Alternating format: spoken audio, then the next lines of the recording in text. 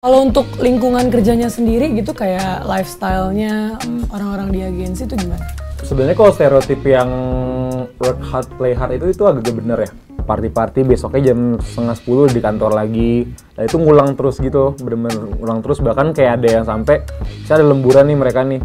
Jadi jam 7 gitu, eh misalnya jam 8 sampai jam 11 itu keluar dulu party di mana jam 12 balik kantor lagi kerja lagi sampai jam 3 jam 4 besok pulang ke rumah besoknya jam 11 itu udah di kantor lagi Biasanya budgetnya berapa sih kalau sekali lo party atau hangout sama orang-orang kantor?